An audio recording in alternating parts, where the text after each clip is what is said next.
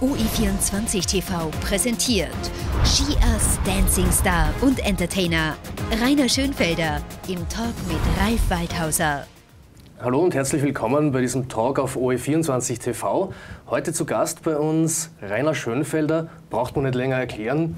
Ex-Skistar, Investor, Dancing Star, Musiker und jetzt Hotelier. Also wir haben einiges zu besprechen. Auch wenn jetzt schon der Frühling da ist, wir werden übers Skifahren auch natürlich sehr viel uns unterhalten. Schön, dass du da bist. Danke für die Einladung. Du hast eine erfolgreiche Skikarriere gehabt, äh, bist Slalom-Gesamtweltcup-Sieger geworden, hast Olympiamedaillen geholt, Vize-Weltmeister. Da war einiges dabei. Jetzt seit ja, knapp vier Jahren ja. die erste Karriere sozusagen beendet. Wie blickst du jetzt äh, mit etwas Abstand darauf zurück? Ja, also das war natürlich ein ganz schöner Abschnitt meines äh, Lebens. Ich habe sehr viele Erfahrungen machen dürfen und bin, bin froh, dass ich alle Dinge eigentlich so gemacht habe, äh, wie ich sie gemacht habe. Ich würde, wenn ich die Chance habe, das noch einmal so machen, würde es, glaube ich, genau gleich machen. Ähm, ich glaube, Skifahren ist einer der schönsten Sportarten in den Alpen oder generell für mich und ich habe sozusagen mein, mein Hobby zum Beruf machen können. Und das war eine, eine sehr schöne Zeit mit sehr vielen schönen äh, Tagen und Erfolgen, äh, aber natürlich auch äh, die andere Seite der Medaille habe ich kennengelernt und somit gibt es ein ganz ein schönes Paket. Und ich habe es Gott sei Dank auch sehr gut zum Abschluss gebracht. Also ich habe dem Skisport sozusagen zu einem Zeitpunkt dann auf Wiederschauen gesagt, äh, wo es für mich gepasst hat und damit bin ich im Reinen. Das war toll. Jetzt kommt mal als sehr, sehr junger Mensch äh, in diesen Zirkus, der sehr viel mit Medien, mit Fans, mit Öffentlichkeit zu tun hat. Äh, ist es schwer für, sagen wir mal, einen 18-Jährigen, 20-Jährigen, da dann plötzlich auf der Weltbühne quasi zu stehen? Naja, grundsätzlich ist man ja, bis man denn mit 18, 20 auf der Weltbühne steht, ja schon eine Zeit lang am Weg. Und man kann, es ist ja keine große Überraschung, weil man hatte davor schon, ich glaube, wenn man jetzt 20, äh, das Alter von 20 hernimmt, man hat ja schon da 15 Jahre wahrscheinlich schon harte Arbeit hineingesteckt. Äh, auf der anderen Seite ist es aber dann, wenn man sozusagen Erfolge feiert, doch eine neue Erfahrung, was dann mit einem passiert. Wenn man dann plötzlich hochgeschaukelt wird über Medien, wenn man dann, ähm, äh, wenn man zu einem raufsieht und äh, plötzlich ist sein Wort ein gewichtigeres als zuvor, das ist schon eine, eine sehr interessante Erfahrung und hat natürlich auch schöne Seiten wie auch Schattenseiten, weil immer wo viel Licht ist, ist auch viel Schatten. Wenn man dann ganz unten ist, lernt man es dann anders kennen wahrscheinlich. Ja, also ich sage einmal in meinem Fall, äh, ich, ich möchte dann vorweg, kann ich nur für mich sprechen. Ich hatte eine etwas untypische Reihenfolge von den schönen Zeiten und den guten Zeiten, ah, und den schlechten Zeiten. Ich hatte sozusagen die schönen Jahre relativ durchgehend uh, on the road, sage ich einmal, und am Ende meiner Karriere sozusagen meine Probleme, wo ich aus einem Verletzungskreis uh, praktisch nicht mehr rausgekommen bin und dann einfach sagen musste, es geht so nicht mehr. Bin allerdings heute topfit, es geht mir gut, aber man merkt dann schon den Unterschied zu den äh, Ups und Downs, wie, wie es sich in der Gesellschaft äh, ähm, sich die, die Thematiken abspielt, was für Leute hinter einem stehen, welche Schulterklopfer man dann plötzlich nicht mehr hat und so weiter. Aber ich glaube, beides gehört dazu zum Sport, das ist ganz wichtig, das hat mich geprägt und mich auch bereit gemacht für alles, was danach gekommen ist und kommt. Du hast gesagt, wenn du 20 bist als Skifahrer, quasi hast du schon 15 Jahre reingesteckt. Äh, das ist ja eigentlich sehr brutal, oder? Muss man da sehr viel verzichten, auch was andere 15-, 16-Jährige in der Jugend erleben? Ja, das ist klar. Das ist aber, glaube ich, auch jedem, der in dem Alter sich bewegt, bewusst, dass äh, wenn man sich fokussiert auf den Sport, und das ist ein sehr, sehr doch enge, äh, ein, ein, enger Sport mit einer hohen Dichte, wo man sehr viel Zeit äh, sozusagen opfern muss, muss, aber glaube ich auch möchte. Also ich glaube, jeder, der, der sozusagen immer nur den Zwang oder das Verzichten dahinter sieht, der wird es nicht weit schaffen. Für mich war das Verzichten kein Thema. Mir ist es erst im Nachhinein aufgefallen, dass halt andere in dem Alter von 15 bis 20 Jahren was anderes machen als ich. Ähm, aber ich würde da nicht gern tauschen. Also so wie es ist, so passt es. Ihr reist da natürlich um die Welt, also wird man da auch zum Kosmopoliten, erweitert sich da zwangsläufig der Horizont? Das glaube ich sehr wohl, ja. Also ich glaube sehr wohl, dass man, wenn man viel die Welt bereist, viele unterschiedliche auch Kulturen kennenlernt. Äh, es ist zwar so, dass wir durch das Training und den Sport immer doch sehr sage ich, lokal bezogen sind. Und das bewegt sich alles in dem, in dem Dunstkreis sozusagen ein neues Land, aber dann doch dort sehr stark Skipiste, Hotel, Trainingslager und so weiter, mehr nicht. Aber man lernt doch die Welt ein bisschen kennen. Also ich habe eigentlich viele Länder der Welt bereisen können, die ich vielleicht so nicht kennenlernen habe dürfen. Und würde sagen, dass ich meinen Horizont sehr stark äh, erweitert habe und damit auch sozusagen auf die Dinge, die jetzt da zu Hause in Österreich passieren, vielleicht einen anderen Blickwinkel habe. Das glaube ich gern. Schaust du heute Skirennen? Bist du da noch nah dran, auch am, am, am jetzigen Weltcup? Ich bin ein begeisterter äh, Fernsehskifahrer mittlerweile geworden, äh, weil ich äh, meine Viele sind ja noch äh, Kollegen, die sind ja mit mir noch parallel gefahren, auch der Marcel Hirscher ist mit mir noch gemeinsam gefahren. Es ist schon schön zu sehen aus der Entfernung als sozusagen nicht Betroffener, was sich so äh, im Weltcup bei einem Rennen abspielt zwischen Start und Ziel und vor allem nach dem Ziel. Also diese, ähm, dieses Thema zwischen Erfolg und Misserfolg, der Umgang, wie gehen die Leute damit um? Ich sehe ja, und das glaube ich, kann man mir äh, äh, sozusagen durchwegs vertrauen, dass ich das weiß, was denn auch beim Zuschauen eines Rennläufers hinter den Kulissen abläuft. Also ich sehe genau ab, wenn ein Läufer sich, wie er sich fühlt, wenn er mit dem Ergebnis im Ziel abschwingt und das oder jene Platzierung taucht auf der, auf der Ergebnistafel auf. Auf. Das sind schon sehr äh, interessante Beobachtungen. Wie spielt sich das dann über die Saison ab? Äh, wie entwickelt sich der eine oder der andere Rennläufer oder Rennläuferin, muss ich auf fairerweise sagen, natürlich. Das sind schon sehr interessante Beobachtungen und das völlig unemotional. Das freut mich, weil ich bin ja nicht betroffen. Als Betroffener wird es dann teilweise sehr eng. Ja? Und, und jetzt relaxtes Beobachten, das ist herrlich. Aber du siehst das wahrscheinlich ganz anders, wenn jetzt einer runterfährt. Also du fährst du dann noch ein bisschen mit? Ja, mir zuckt schon ab und zu. Ich muss ganz ehrlich sagen, manchmal speziell im, im, im Slalom in meiner nach wie vor Lieblingsdisziplin und Kerndisziplin, da zuckt es mich schon nicht, dass ich äh, jetzt unbedingt wieder fahren, äh, äh ja wollen da die eigentlich eh noch weiterfahren, das brauchen wir nicht diskutieren. Aber das Thema ist, ich weiß ja, was auf die für Belastungen auf den Körper zukommen und das weiß ich, dass ich das auch nicht mehr bereit bin äh, einzugehen. Aber ich fieber mit, ja, ich fieber richtig mit, äh, weil ich emotionalisiert bin, mein ganzes Leben lang den Sport ausgemacht habe und das war, glaube ich, anders komplett falsch. Du bist natürlich als Slalomläufer bekannt, ja, hast aber alle Disziplinen bestritten, zeitweise bist auch Abfahrt gefahren. Äh, jetzt sagt man immer, die Abfahrer sind die, die würden Hund. Äh, was sind die Slalomläufer? Müssen die sehr schnell sein? Was ist, kann man das vergleichen? Ähm, ich würde das, würd das nicht so beschreiben. Also ich bin überzeugt davon, dass es eine Menge an Slalomfahrern gibt, die viel wildere Hund sind als Abfahrer oder manche Abfahrer. Das, es ist eine unterschiedliche Philosophie eine unterschiedliche, ich habe wirklich alle Disziplinen fahren dürfen. Ich habe mir sozusagen vom Spezialisten Slalomfahrer hinentwickelt, dann doch zu einem Allrounder und bin auch sehr viele Abfahrten gefahren, habe auch vor allem in der Kombination keine, nicht wenig Erfolge gefeiert. Äh, es ist eine komplett andere Philosophie. Das eine ist mit dem anderen nicht vergleichbar.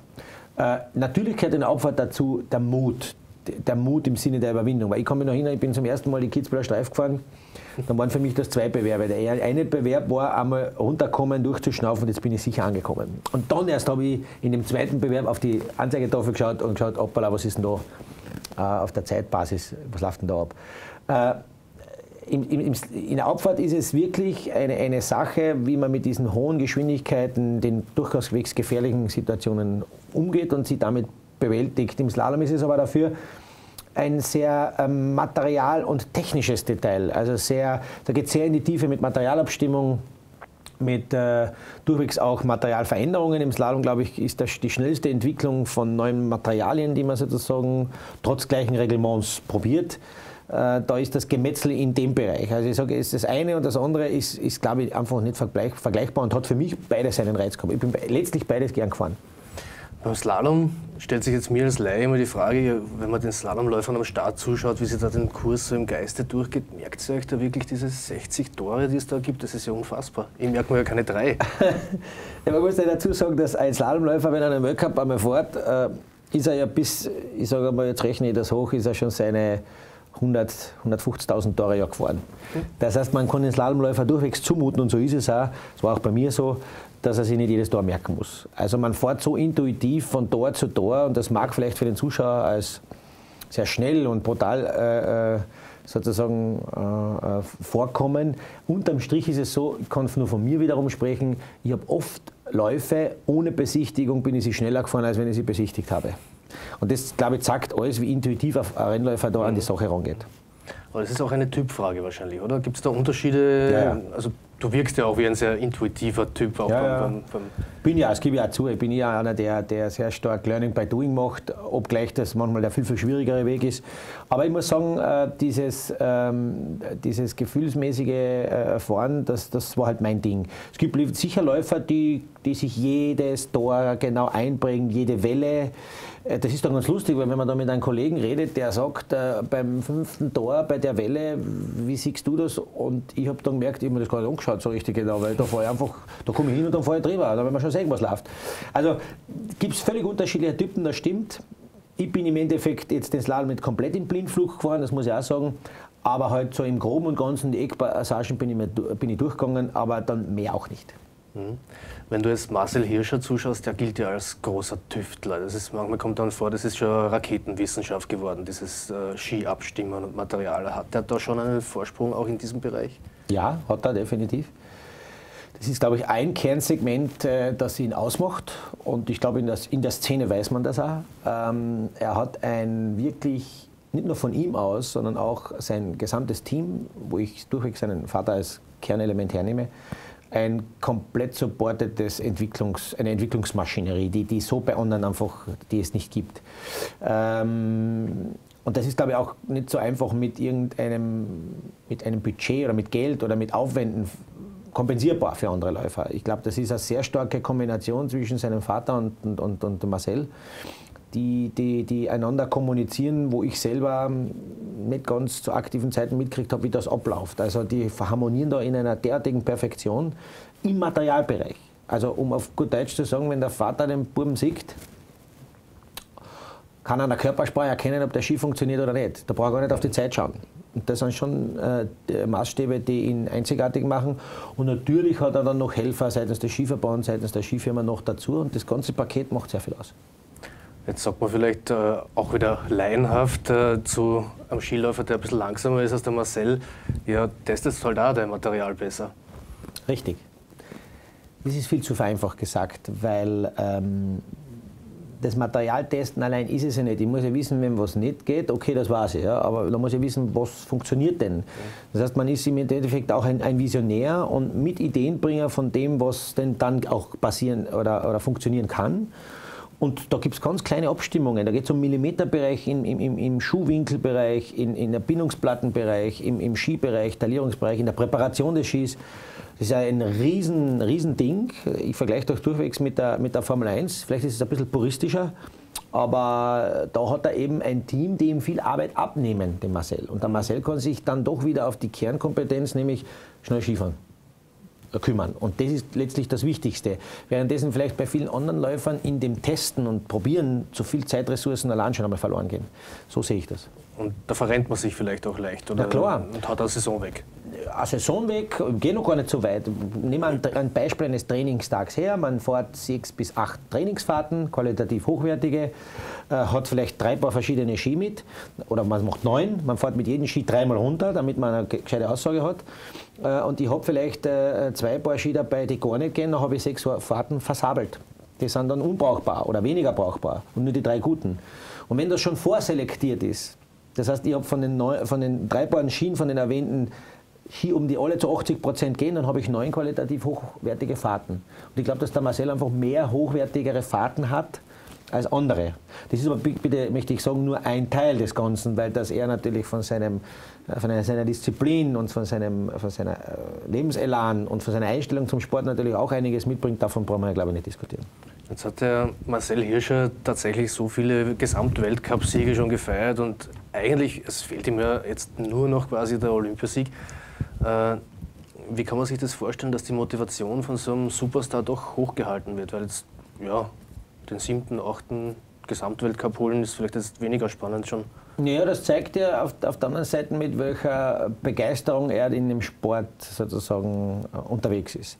Das ist das eine. Aber ich habe schon in einem anderen Interview gesagt, der Marcel Hirscher hat aber einen, einen sehr gesunden Grundzorn. Ja? Mhm. Er ist ein sehr, wie soll ich sagen, ein sehr ähm, perfektionierender Mensch, glaube ich, und der hat einen, einen, einen, der ihn sehr positiv stimulierten Grundzorn sozusagen. Er will ja nicht nur äh, Erster sein, er will ja mit zwei Sekunden Erster sein. Äh, das ist ja ein großer Unterschied. Denn viele neigen ja nach einem großen oder mehreren größeren Erfolgen zum Durchschnaufen. Das ist bei ihm nicht der Fall. Mhm. Weil es kann immer noch besser gehen. Und das hält ihn so derartig wach, dass er bei seinem, wenn er jetzt einen, ein Rennen heuer hernimmt mit dem meisten Vorsprung, den er gewonnen hat, dann wird er sagen, na, da gibt es noch einiges Spielraum und das möchte ich machen.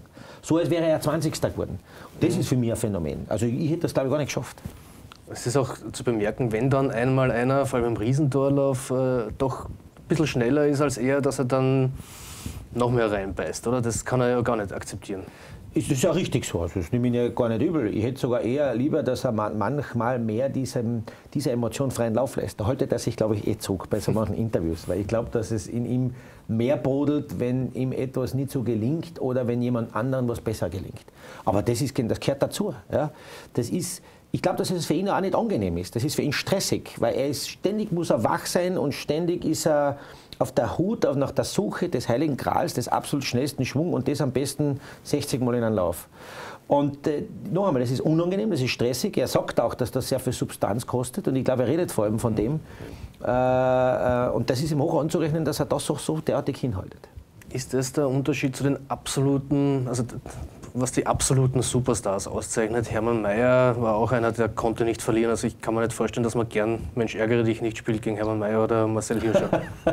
das stimmt, das kann sein. Da kann schon sein, dass die Würfel die Kegel um die Ohrwaschen fliegen. Aber ich glaube, dass es äh, diesen, dieses äh, immer Erster sein wollen, das haben ja viele andere auch. Das, das ist mhm. der Grundzugang eines Sportlers, sonst brauchen wir das ja nicht machen. Aber was ich glaube ist, es ist ein Unterschied, den Erfolg, den so gewünschten, einzufahren und dann noch mit gleichem Elan weiterzutun. Noch einmal, so als wäre ich 20. geworden und jetzt muss ich Gas geben. Das ist für mich, das ist schon über den Tellerrand hinausdenkend. Ja, und Dinge sozusagen ermöglichen, auch wenn man dann im Detail sieht, wie er fährt, der fährt teilweise Schwünge, wo es bisher galt, äh, so kann man Schwung nicht fahren. Dann kommt er, ah, es geht doch. Das heißt, es müssen sich auch viele äh, immer wieder neu erfinden oder erfahren dabei, ob das Trainer sind, ob das Funktionäre sind, ob das äh, auch äh, die Skifirmen vor allem sind, die Materialfirmen, dass es offensichtlich doch noch besser und noch schneller geht, als man bisher geglaubt hat. Und das ist, glaube ich, ein Wahnsinn. Das heißt, auch der Skisport entwickelt sich ja ständig weiter. Wenn man jetzt, weiß nicht, der Rennen anschaut von Ingemar Stenmark, muss man ein bisschen schmunzeln schon. äh, ist es auch äh, seit deiner Zeit schon wieder ganz anders, oder sehr viel anders geworden? Hat sich da schon wieder was getan? Auch unglaublich. Wenn man mich in, in, in, den letzten guten Jahren sieht, dann bin, gilt ja ich ja schon als Oldtimer. Das ist ja schon fast äh, äh, Wahnsinn. Das ist ja, kennt man schon fast die Frage stellen, ob es nicht damals schon Schwarz-Weiß-Fernsehen gegeben hat. Also ich, wenn ich mir in der alten Zeit sehe, schäme ich mich fast. Weil wenn ich sehe, was heute gefahren ist und was ich damals gefahren bin, dabei war das damals State of the Art. Da tut sich so viel innerhalb einer Saison von, von der einen auf die andere, die der Zuseher gar nicht mitkriegt. Er kriegt mit, wenn sich im Außen, im Reglement was ändert. Ja? Also bei Skilängen, bei Kurssetzungen, ja, das kann man vergleichen. Aber selbst wenn diese äh, Regulative gleich bleiben, ändert sich trotzdem so viel. Und das ist enorm und da äh, sind, ist jeder Rennläufer extrem gefordert, sich dieser Entwicklung da massiv äh, äh, sich selbst anzukurbeln, dass er da mitkommt. Weil wenn er das verabsäumt, dann passiert im Außen nichts, der Läufer ist gesund, das Material passt, das passt eh alles, aber er hat da fort nichts. Was ist denn da los, hast du dann? Weil man das verspennt und das darf man nicht verpennen. Mhm. Was glaubst du persönlich äh, von Marcel Hirscher? Wird er bis 2018 noch weitermachen, viel mehr, nimmer? Das kann ich ganz einfach beantworten. Solange er diesen Grundzorn inne hat, kann er ewig so weiterfahren. Und gesund bleiben muss er. Ja. Aber, aber das ist, glaube ich, die Basis, weil Marcel ist auch sehr fit. Und das ist aber wiederum etwas, was kein Zufall ist. Dafür tut er sehr viel. Das muss man auch dazu sagen. Das sehen die wenigsten, weil die meisten sehen nur im Winter, wenn er fährt. Wie hart er aber an sich arbeitet, um prophylaktisch seinen Körper so fit zu halten, dass ihm keine großartigen Verletzungen widerfahren und dass er diese extremen Belastungen standhält, das muss man halt auch am Tisch halten. Und das ist, das, das, das ist wieder ein Baustein von ihm, was ihn ausmacht. Dahinter, hinter Marcel Hirscher, schaut es im Herrenteam ein bisschen mager aus, oder? Täuscht der Eindruck? Ist so, zeigen ja die Ergebnislisten. Woran liegt das? Kommt wirklich weniger Nachwuchs nach? Ist das ja, gebe ich ehrlich zu, wenn ich jetzt äh, zurückblicke, wo ich in den jungen Jahren in den Skiweltcup äh, gekommen bin, dann war in meinem Jahrgang äh, waren wir zehn Jahrgänge, gute Jahrgänge. Und dann geht es halt bis rauf in den Weltcup und dann äh, bricht der eine oder andere weg. Und ich glaube, dass jetzt einmal schon nicht mehr Zähne da sind, sondern schon weniger da sind und dass die Ablenkungen in der Gesellschaft für die Kinder und auch von den Familien einfach groß gegeben ist. Das ist das eine. Und das andere ist, dass, äh, glaube ich, auch systematisch äh, mehr getan werden muss, da spreche ich bewusst auch den Skiverband an, um die Leute beim Skifahren zu halten. Es können die, die, die, die Auflagen auf die Rennläufer und Rennläuferinnen nicht mehr so, so, so zach sein. Weil es gibt Entwicklungsjahre der, der Jugendlichen, es gibt Unterschiede in, in, im Materialbereich, wie wir gerade gesagt haben, es gibt Unterschiede in der, äh, äh in der Form. Äh, es können unterschiedliche Themen sein, dass in diesem einen Jahr halt das einige, dasjenige Dirndl oder der Bur halt nicht gerade so gut ist. Und wenn er dann die Auflagen nicht erfüllt und er ist gleich weg, sprich aus dem Kader, dann wird es für Eltern im Sinne der Finanzierung und Weitertun halt schwierig. Und Motivation brauche ich gar nicht reden. Da müsste man ein bisschen breiter sozusagen den Topf aufstellen breiter. Skifahren soll ja auch der Volkssport bleiben. Äh, da gibt es ein Konzept, das sehr spannend ist, nämlich für Familien das Skifahren leistbar zu halten oder wieder leistbarer zu machen. Da spielst du eine ganz große Rolle, äh, nämlich als Hotelier gemeinsam mit Hermann Mayer. Und das schauen wir uns an nach einer kurzen Pause. Bleiben Sie dran. UI24 TV präsentiert Skiers Dancing Star und Entertainer Rainer Schönfelder im Talk mit Ralf Waldhauser. Willkommen zurück auf OE24 TV im Talk mit Rainer Schönfelder. Wir haben jetzt gefachsimpelt über Tore, über Marcel Hirscher, über den Skinachwuchs und reden jetzt ein bisschen über das neue berufliche Standbein vom Rainer, äh, die Adeo Alpin Hotels. Äh, Zuerst einmal die Frage, du machst das mit Hermann Mayer, ihr seid doch sehr grundverschiedene Typen, vertragt sie euch? Ja, sonst würden wir es nicht tun. Äh, ich glaube, gerade deswegen, weil wir so verschieden sind, vertragen wir uns sehr gut. Wir haben uns in der, in der aktiven Zeit schon sehr gut verstanden. Das ist vielleicht gar nicht so nach außen gedrungen. Äh, ich war auch mehr im technischen Bereich, eher mehr in den schnellen Kurven äh, natürlich unterwegs. Und feierten schon einmal sozusagen angefangen die Weltcup-Premiere in Lillehammer 1996. Beide. Ja, mhm. Er damals, kann ich mich noch gut erinnern, aus dem Europacup quer äh, vom Maurer zurückgekommen auf die Skipiste sozusagen und ich als Juniorenweltmeister und das haben wir auf der Piste gefeiert und ich würde auch sagen nach der, äh, im Après-Ski-Bereich. Wir haben das müssen feiern. Das, da waren wir, da waren wir glaube ich auch nicht schlecht. Und dann haben wir uns äh, zwar nicht wahnsinnig viel Kontakt gehabt, aber im, im Sinne der, der respektmäßigen Beobachtung sind wir uns nie, haben, haben wir uns nie aus den Augen verloren.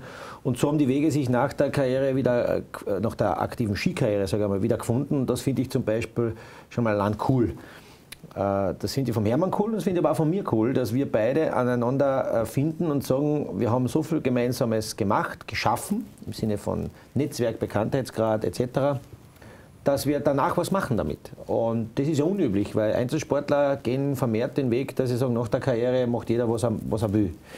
Und dass wir dann sozusagen unser, unser Interesse dem Sport, von dem wir so viel bekommen haben, wieder widmen, indem wir sagen, wir können jetzt nicht zaubern, aber wir können zumindest etwas beitragen, damit die Leute beim Skifahren bleiben oder beim alpinen Urlaub generell, weil das ist ja nicht nur ein Winter, sondern auch ein Sommerthema.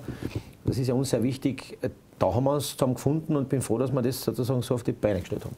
Habt ihr da auch unterschiedliche Aufgaben, nehme ich an, bei diesem Konzept? Ja, das sage ich auch immer ganz einfach. Der Hermann hat ja, ich war Kind, der Hermann hat drei Kinder, insofern habe ich dreimal so viel Zeit und komme ich äh, sozusagen im Projekt drinnen auch äh, operativ bewege ich mich also auch, auch, auch mehr. Äh, Hermann steht natürlich äh, für Termine und Testimonialzwecke jederzeit zur Verfügung, ist auch Werbeträger äh, des Projekts. Und wir haben mit zwei Hotels jetzt eben gestartet, wo wir einfach versuchen, mit einem Top-Preis-Leistungs-Verhältnis die Leute wieder zu animieren, zu sagen, äh, das ist durchwegs ein Preissegment, äh, das wieder sehr attraktiv ist. Ich habe aber trotzdem alles im Haus. Also bitte, das darf man nicht sagen. Wir haben unsere Häuser haben haben eine, äh, ein oder zwei Saunen, je nachdem. Wir haben einen Fitnessbereich, wir haben einen Kinderbereich, äh, wir haben saubere Zimmer, wir haben Familienzimmer mit Durchgangstür, das richtig äh, groß ist. Jedes Zimmer hat einen Balkon. Also das ist durchwegs ein Standard, wo ich sage, ich brauche, und daher war wir brauchen nicht mehr, wenn wir sozusagen in die schönen Alpen auf Urlaub fahren. Und den ganzen Schnickschnack, den brauche ich eh nicht. Und das spült sich halt auch im Preis wieder. Und ich glaube, das ist ganz interessant es hat nichts zu tun mit, wie du schon gesagt hast, mit einer, weiß nicht, Frühstückspension aus den 70er Jahren, sondern das ist wirklich äh, stylisch, designt, WLAN im ganzen Haus. Genau. Also, äh, warum können sie dann quasi trotzdem so preiswert sein? Was ist dieser Schnickschnack, auf den da verzichtet wird? Naja, es ist im Endeffekt so, dass das gesamte Konzept, äh, äh oder, oder fangen wir anders an. Wir fangen mal damit an, dass wir eine tolle Lage äh, bekommen. Da ist natürlich äh, der Hermann auch eine große Hilfe, weil wir sagen, äh, wir wollen möglichst äh, eine Liftnähe haben oder einen anderen Hotspot in der Nähe, dass man das Auto wirklich abstellen kann.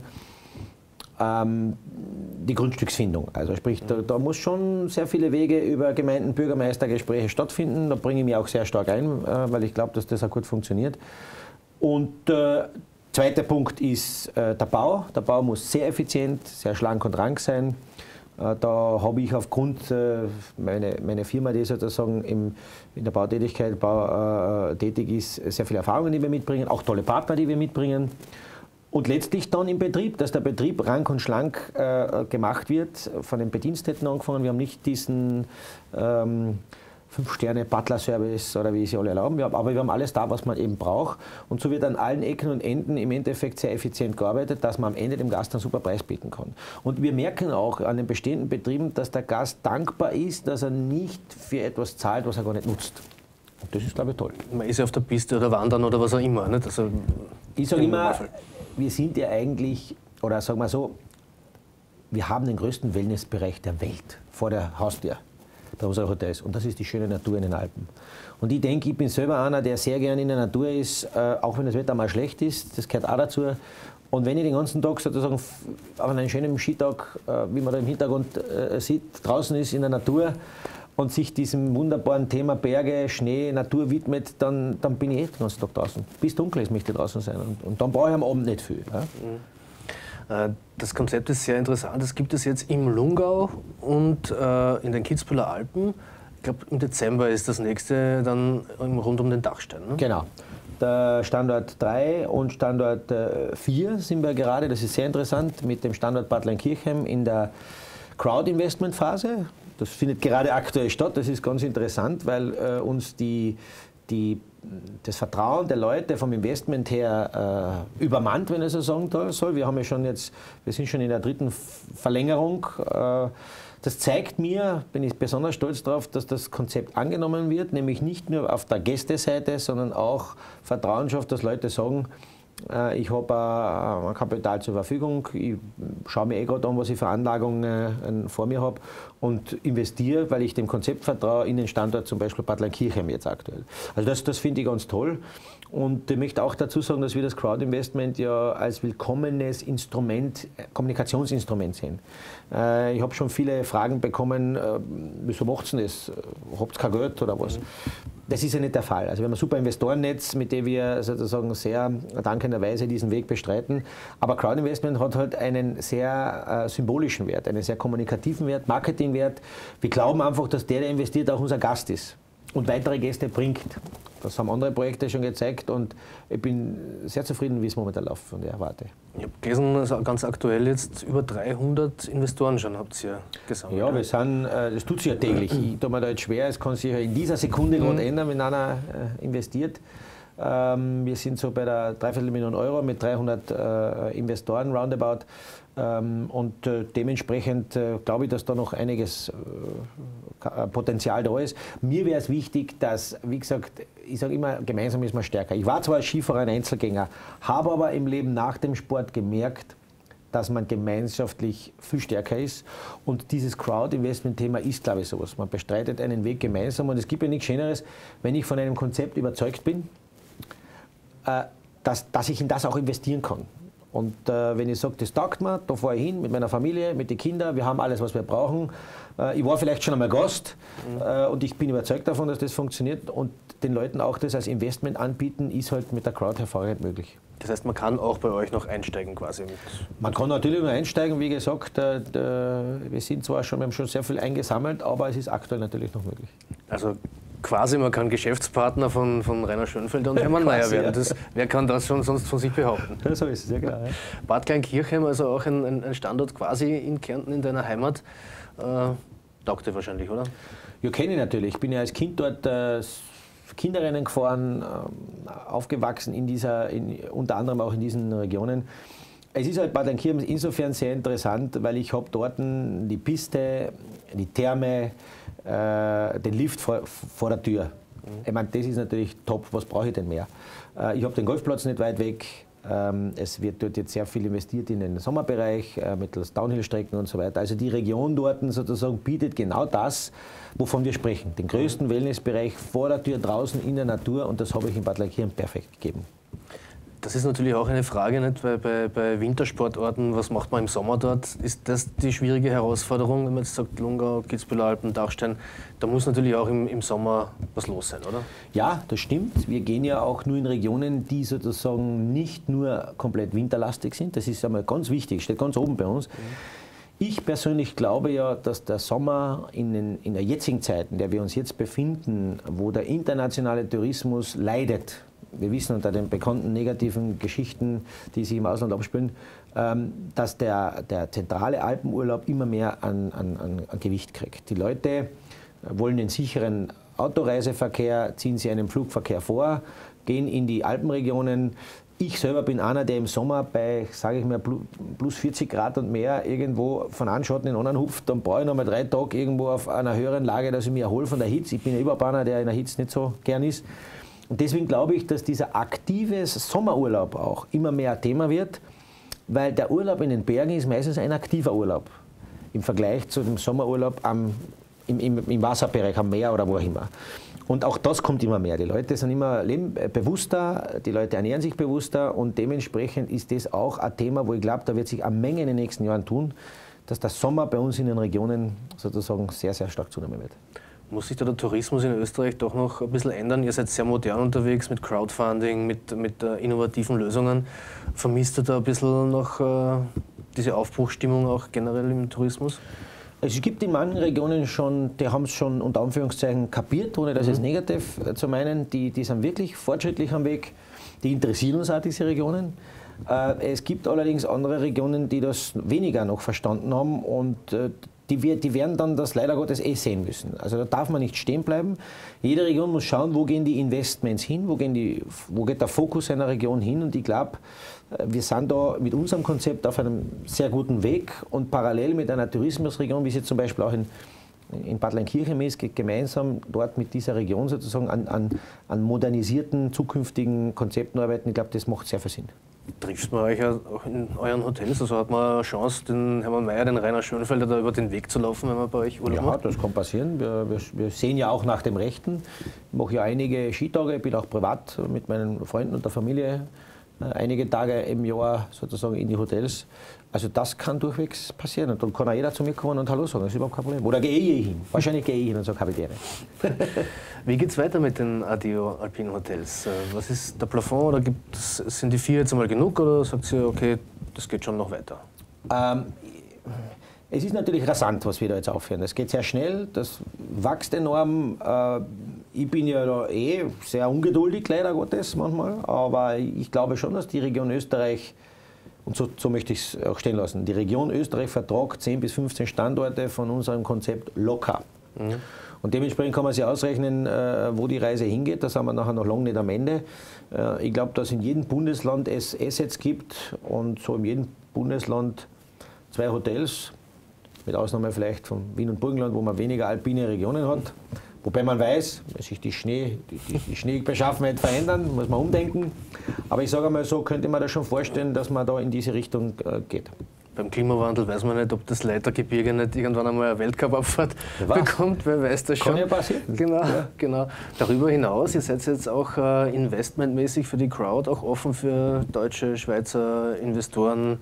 Äh, ist das auch ein interessanter Markt, Schweiz? Das, das, war ja die Begründung, warum wir angefangen haben. Äh, wir haben ja angefangen mit einer Tranche von 500.000, die haben wir dann auf 750.000 erhöht und jetzt haben wir sie nochmal erhöht auf 1.250.000. Aus dem Grund, weil wir äh, in Österreich äh, sozusagen die Erfahrung hatten, dass sehr viele dem Konzept vertrauen und dementsprechend, wir ja alle wissen, der Tourismus geht ja über die Grenzen Österreichs hinaus. Was wäre der Tourismus ohne Deutsche, ohne Slowaken, ohne Schweizer, ja, was auch immer? Das gehört alles dazu. Und dementsprechend haben wir jetzt äh, schon vor einiger Zeit das Investment auch in Ländern Slowenien, Schweiz, Slowakei und Deutschland ermöglicht, weil wir genauso glauben, dass Leute dort sehr urlaubsaffin sind, das Land Österreich als Urlaubsland schätzen, das wissen wir, das kennen wir ja durch die Statistiken, und dann dementsprechend äh, auch sozusagen dort investieren und wieder für Kommunikation und Weiterverbreitung sorgen. Mhm. Die Adio Alpin Hotels, also das Projekt, das man sieht es dir sehr, sehr am Herzen liegt. Ja, ja. ja. Äh, ja wir schauen uns dann noch weiterhin an, wie es mit dieser Hotelkette weitergeht und wir plaudern natürlich noch über den bunten Vogel Rainer Schönfelder. Das dürfen wir nicht vergessen. Bleiben Sie dran. UI24 TV präsentiert Skiers Dancing Star und Entertainer Rainer Schönfelder im Talk mit Ralf Waldhauser. Willkommen zurück auf OE24 TV im Talk mit Rainer Schönfelder. Wir haben jetzt sehr viel auch gehört über die alpinen äh, Hotels, Adeo Alpin Hotels gemeinsam mit Hermann Mayer. Äh, ein sehr, sehr interessantes Projekt. Hotel Nummer 4 wird dann noch wann eröffnet? Das haben wir noch offen gelassen. 2018. Ich möchte mich da nicht einschränken, weil natürlich das sehr viel von Genehmigungen, Behörden und Wege äh, abhängt, wo wir marginal nur einen Einfluss haben. Aber 2018 möchten wir Bad Lankiheim eröffnen. Gibt es eigentlich so alteingesessene Touristiker, Hoteliers, die sagen, ah, jetzt kommen die zwei Skifahrer und nehmen mir die Gäste weg? Habt ihr da auch so Erfahrungen gemacht? Ähm, nicht persönlich, aber ich glaube, die wird es geben. Also die wird sicher geben. Es wird auch viele geben, die sagen, das ist ein Plätzchen, was wir machen. Ähm, das bin ich gewohnt, dass es nicht alle meiner Meinung sind. Also das hat mir meine Skifahrerkarriere ja gelehrt es ist auch nicht mein, An, äh, mein Anspruch, dass ich jeden äh, gefallen möchte und dass mit dem, was ich tue, jeden gefallen. Das ist nicht das Thema. Wichtig ist, dass es angenommen wird. Und die beiden ersten Hotels zeigen es, dass es so ist. Also wenn ich an die Rate, und das interessiert mich persönlich sehr stark, wenn ich an die Rate denke von Wiederholungstätern, das heißt die, die schon selbst in einem Winter ja, drei, viermal zu uns kommen, weil sie sagen, das ist super kurzfristig, ich schaue mir das Wetter an, ich komme vorbei, eine schlanke Partie, so wie ich das haben möchte, dann bestätigt mich das mehr denn je, dass wir am richtigen Weg sind. Rainer Schönfelder, Skifahrer, Hotelier, auch Sänger. Wir kennen dich auch aus den, aus den Charts. Ist diese Karriere auf Eis gelegt oder, oder beendet? Oder? äh, sag mal so, das schlummert in mir äh, und wird immer schlummern. Mhm. Also, dass ich, dass ich der Sache nur nicht jetzt in einer größeren Dimension nachgehe, äh, hat auch damit zu tun, dass die Ressourceaufteilungen in meinem Leben begrenzt sind. Weil wenn ich jetzt sage, ich würde jetzt auch noch an einer Gesangskarriere äh, feilen, ähm, abgesehen davon, ob daraus überhaupt was wird, ja, äh, dann wäre das äh, zu viel, too much. Ich singe aber sehr gern noch, nach wie vor, bei diversen Veranstaltungen, wenn irgendwo eine Band spielt und ich traue mir zu, das eine oder andere Lied mit der gemeinsam spontan zu singen, dann wird man mich fast nicht von der Bühne kriegen. Also das ist nach wie vor ein Faible von mir, dieses, ja, es gehört zum äh, lustigen Lebensunterhalt dazu. Aber Karaoke-Sänger bist du jetzt nicht, oder? Schon auch? Gehe auch, ja? ist sicher, muss man ja üben. Das ist ein, ein Übungselement als solches. Aber kein professioneller Klassischer in dem Sinn vielleicht. Tanzt du eigentlich noch, wenn wir schon dabei sind? Na, wenn ich ehrlich bin, äh, nicht mehr. Was ich schon mache, ist, äh, wenn ich ins äh, Fitnessstudio gehe, dass ich meine äh, sechs Lieblingstänze von Dancing Stars von der Choreografie her noch im Kopf habe mhm. und die dann selber in einem Raum, Squashraum oder einem Gymnastikraum mit Musik im Ohr nachtanze. Okay. Das mache ich noch. Weil es war damals so, die Marlena Stöckl, meine, meine Tanzlehrerin und Partnerin, hat mich immer alleine tanzen lassen. Das heißt, wir müssen zuerst die Choreografie allein durchtanzen und dann hat sie gesagt, dann tanze ich erst mit dir, wenn du das halbwegs allein kannst.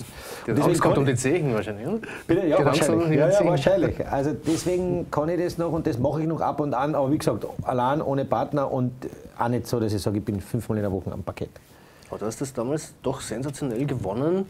Äh, was sind da so die Tipps und Tricks? Es läuft derzeit die aktuelle Staffel ja. an deine Nachfolger. Äh, schaust du diesen Kollegen auf die Beine? Wenn man einmal bei Dancing Stars aktiv selber mitgemacht hat, glaube ich, ist man immer interessiert in, in, in, was tut sich denn bei der aktuellen Staffel. Das ist einmal so, das emotionalisiert sehr stark. Es hat auch mir riesen Spaß gemacht, da mitzumachen.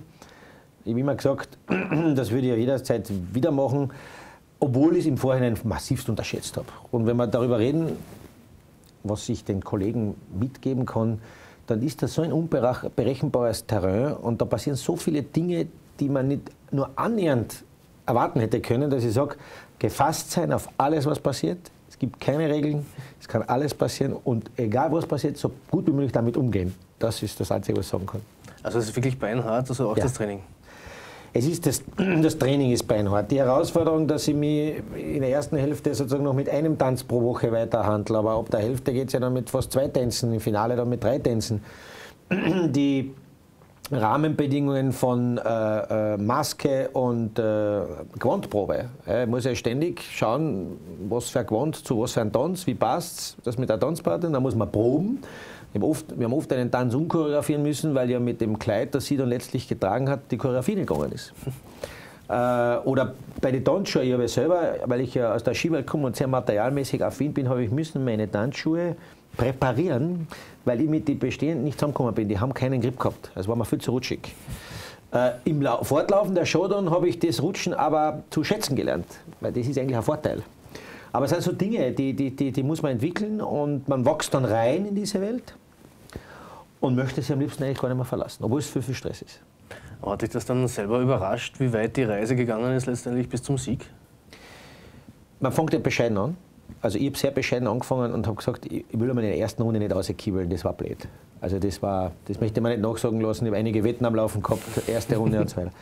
Dann geht es aber so schnell, zack, zack, zack, man ist plötzlich in der sechsten, siebten Runde, man ist sozusagen genau bei Halbzeit und dann wird klar, nach einer gewissen äh, Revue passieren, wie sind denn die Bewertungen gelaufen und so weiter. Äh, dann war der Riecher nach dem Finale schon sehr groß. Mhm. Dann war schon das Ziel, dass ich ins Finale kommen möchte. Und wo ich das Finale erreicht habe, wollte ich es auch gewinnen. Ganz einfach. Und dann habe ich gesehen, hoppala, die kochen alle nur mit Wasser, also wenn wir das Wasser auch mitkochen. Ja. Das heißt, da kommt der Ehrgeiz des Sportlers auch wieder durch. Dann, Nein, ne? klar, die kommt bei jedem. Letztlich ist es ähm, ein Wettbewerb, ein knallharter Wettbewerb, weil der, der die, die, die, die Show am selben Tag verlässt, der ist enttäuscht und dem geht es nicht gut. Auch wenn er es vielleicht sagt, aber das ist einfach schade. Mhm. Wie beurteilst du jetzt die derzeitige Staffel? Ich habe nicht, erst eine, eine drei, drei, drei Abende waren, drei mhm. Tanzabende, wenn man so sagen darf. Ich habe erst eine gesehen, eh, wo der, das erste Tanzpaar ausgeschieden ist. Kann man noch nicht. Das ist so, man muss sich finden. Jedes Tanzpaar äh, schlupft dann in eine gewisse Rolle, mhm. die sie auch finden müssen. Das ist auch mir so passiert. Äh, und ich habe mich der, der Rolle angenommen, wie es dann dort passiert. Und da muss man sich auch sozusagen mitentwickeln.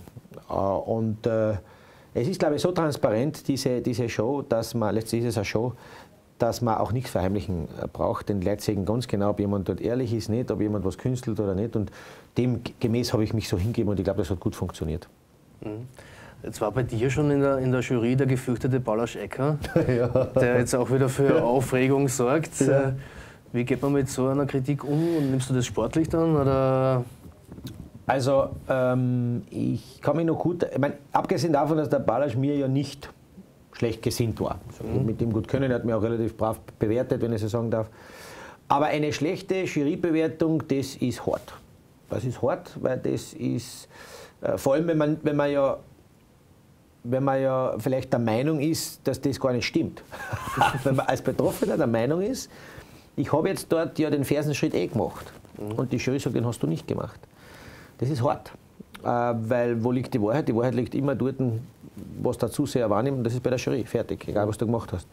Ähm, aber ich habe das aufgenommen als massive Motivation und immer, wenn je härter die Kritik war, desto mehr habe ich Gas gegeben. Das war so. Und da habe ich auch Phasen gehabt. Ich bin auch zweimal vorhin gestanden und habe das gesagt, so, und das passiert mir nicht mehr. Und äh, mein Tanzpartner hat das, habe ich ihnen auch gesagt, bitte nimm das als Herausforderung mit mir, weil nimm mich bei der, zur Sache, äh, gib mir Gas. Wenn wir eins über den Deckel kriegen, müssen wir noch mehr arbeiten und noch besser werden und das haben wir auch gut gemacht. Ja. Noch dazu sind diese Bewertungen auch vom Millionenpublikum, das darf man ja wahrscheinlich auch nicht unterschätzen. Na klar, da schauen ja ähm, eine Menge zu, obgleich man ja nie weiß, was im Hintergrund mit dem Telefonvoting äh, passiert. Aber die, die, die, die Hauptwahrnehmung passiert in der Show am Parkett mit der Jury. Und das gibt schon mal so ein Indiz und einen Indikator ab. Und um das, darum kann ich mich kümmern. Ich kann mich um die Anrufe ja nicht kümmern. Aber meine Performance, da, das, das muss ich bewerkstelligen. Und da ist jeder auf sich selber gestellt. Nimmt man da als Sieger von Dancing Stars was mit dann draus? Hast du viele Kränzchen eröffnet oder Tanzschulen? das habe ich nicht. Nein. Das habe ich eigentlich gar nicht äh, äh, so viel, weil letztlich muss man die Kirche im Dorf lassen ich habe vorher nicht tanzen können und ich würde auch nicht danach sagen, dass ich tanzen kann. Aber die Tänze, die ich bei Dancing Stars äh, kennenlernen durfte, da kann ich ein paar. Und das ist auch das Einzige. Da schlüpfte in eine sehr spezifische Rolle. Aber es hat mich schon stolz gemacht als Sportler. Es waren viele Sportler und es sind immer wieder viele Sportler dabei, äh, sozusagen da die Show zu gewinnen, weil am Ende des Tages ist mir bewusst worden, kannst du mit Schmäh und Kabarett und sympathisch, das geht alles nicht. Am Ende musst du liefern. Im Finale entscheidet dann nur mehr das Publikum, aber auch das Publikum entscheidet im Finale meistens auch, da muss schon geliefert werden. Das muss schon noch was, das muss schon noch tanzen aussehen. Das war mir schon bewusst und dementsprechend habe ich mir eingesteigert. Im Juni gibt es ein vielleicht markantes Datum, ein runder Geburtstag steht oh Mann, ins Haus. Genau. Habe der, ja. Das stimmt. Ist das ähm, irgendwas, was dir was bedeutet, der 40er? Ich generell bin kein großer Geburtstagsfeierer. Ich feiere lieber andere Geburtstage als, als, als meinen. Hat aber nichts damit zu tun, dass ich mit dem Alter ein Problem habe. Äh, aber ich sehe jetzt schon, äh, auf die Frage hin merke ich schon bei mir, dass es mich stresst. Ich, eher, ich, ich, wirke eher gestresst auf meinen 40er, weil man ja was machen sollte. Das ist ja auch mhm. ein bisschen klischeebehaftet. Ähm, ob ich dann was machen werde, mit wem ich das machen werde, das ist noch gar nicht, da bin ich eher spontan, wie ich sonst da im Leben bin. Mir wird schon was einfallen, dass ich dem Tag dann gebührend feiern werde. Am Midlife Crisis droht nicht, oder? Ah, das glaube ich nicht. Ich bin ja biologisch, schon ich bin ja biologisch bewiesenermaßen noch keine keine 25. Manche sagen, ich bin sogar minderjährig biologisch, aber lassen wir das mal so stehen, aber ich bin noch sehr, sehr, sehr, sehr jung. Mhm. Äh, jetzt hast du natürlich ein, ein, großes Projekt mit diesen Adeo Alpin Hotels. Äh, ist das etwas, was du sagst, das ist langfristig jetzt meins oder äh, gibt es da schon noch viele andere Ideen, die der Rainer Schönfelder bis zur Pension, sind ja noch ein paar Jahre, ja, bis zur, bewerkstelligen will? Bis zur Pension ist noch definitiv weit. Ich glaube, dass wenn man das jetzt runterbricht auf neutral, dann müsste halt ich 477 Jahre alt werden, damit ich alles das am Boden bringe, was ich so in meinen Kopf äh, schwebt. Vielleicht noch ein paar hundert Jahre mehr. Aber ich glaube, dass so wie das Skifahren mich eine Zeit lang begleitet hat, ist halt jetzt ein, dieses Hotelprojekt doch ein, ein sehr kommunikationslastiges äh, Herzensprojekt, das ich jetzt in die Gänge bringen möchte. Und das wird mir jetzt auch sicherlich eine Zeit lang beschäftigen, aber bis zur Pension ist noch lang. Also das heißt nicht, dass ich, dass, dass ich das Projekt sozusagen irgendwann abschöpfe, ganz im Gegenteil, ich möchte ewig lang eigentlich grundsätzlich bei einer guten Sache dabei sein, aber es könnte das eine oder andere dazukommen. Das ist nicht ausgeschlossen. Das heißt, wenn es einmal läuft, kann man es vielleicht auch ein bisschen laufen lassen von selber, oder? Nein, ich muss ganz ehrlich sagen, also da, da, da, das ist gut, dass wir das ansprechen. Ich habe jetzt aktuell schon sehr, sehr viel an Zeitressourcen für das Projekt, äh, oder gebe ich her, das muss ich fairerweise sagen, weil wir im Aufbau sind. Es sind sehr viele Dinge zu erledigen, um das Ding in die Gänge zu bringen und so weiter. Und es wird sicher irgendwann mal sozusagen äh, sich verselbstständigen, wo vielleicht die Zeitressource in der Einbindung des Projekts von mir nicht mehr so gebraucht wird. Ich bin ja uneitel. Wenn jemand sagt zu mir, äh, du, das Projekt wird 20 Mal besser laufen, wenn du nicht dabei warst, dann sage ich, dann müssen wir eine Lösung finden, weil ich bin jetzt der, einer, der sagt, es soll funktionieren. Und mir geht es nicht so sehr darum, dass es immer nur funktioniert, weil ich der bin oder, oder weil es meine Idee ist. Das ist, nicht so, das ist nicht so wichtig. Funktionieren muss es. Und äh, ich weiß ja nicht, was in 10, 20 Jahren ist, das weiß ich ja nicht. Mhm. Aber jetzt einmal geben wir Gas und auf das freue ich mich. Aber man muss sich das jetzt nicht so vorstellen, dass der Hermann und du, was nicht, Polstermöbel aussucht aus einem Katalog oder irgendwie so, oder? Äh, das stimmt nicht ganz. Der Hermann ist ja aufgrund seiner Vergangenheit als Maurer im Bau doch äh, äh, eingebunden gewesen äh, und hat seine Erfahrung eingebracht, die ja da sind, das muss man ganz fairerweise sagen. Und es sind doch einige Sachen am Bau sozusagen durch die Einbringung von ihm und mir und unseren Erfahrungswerten, weil wir so viele andere Hotels auch gesehen haben, dann letztlich auch umgeändert worden. So ist es nicht. Es ist jetzt aber durch die ersten zwei Hotels schon viel gemacht und es finden jetzt bei den nächsten Hotels sehr viele Optimierungen statt, weil man draufkommt im Betrieb, man kann dort oder da noch ein bisschen an der Schraube drehen, es noch optimieren, äh, ob das beim Bau ist, ob das auch beim Betrieb ist und so wird es auch weitergehen. Mhm. Wenn man jetzt abseits dieses Hotelprojekts, wenn da ein bisschen mehr Zeit bleibt, äh, schaut, was sind denn so Sachen, die müssen unbedingt noch sein jetzt? Ma, was noch unbedingt sein muss. Es ist jetzt eine schwierige Frage, weil äh, ich mich dann nicht an dem äh, sozusagen fest, äh, festsetzen äh, oder festgemacht werden. Äh, in diesem äh, Immobilien- und Investmentbereich, ich bin ja auch an anderen Projekten im Speckgürtel von Wien tätig, äh, die mir sehr viel Spaß machen, wo es um leistbares Wohnen geht. Also da ist, da ist auch noch sehr viel Potenzial da, wo ich glaube, dass man, dass man von der Stadt Wien aus, die ja immer größer wird und so weiter, in immer mehr in den Randgeschichten geht, wo wir uns auch schon bewegen mit meiner Firma. Äh, da ist noch sehr viel Potenzial da, wo ich mich auch nebenher sehr widme. Nur ist es nicht so an der Front in der Kommunikation. Also da möchte ich mich auch noch sehr stark bewegen und es wird dieses Immobilieninvestment-Thema mich immer begleiten. Das ist ein großer Film. Mhm.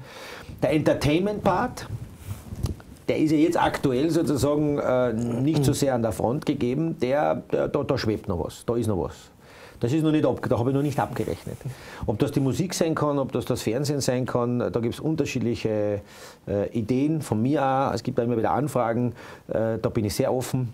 Das kann auch sehr schnell gehen, dass ich in einer anderen Funktion äh, äh, parallel zu den aktuellen äh, Aktivitäten wieder auftauche und dort auch was weitergeht, weil es ist ja dort auch schon sehr viel passiert.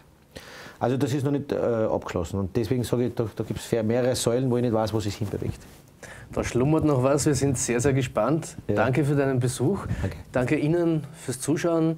Äh, wünsche Ihnen noch eine schöne Zeit mit OE24 TV.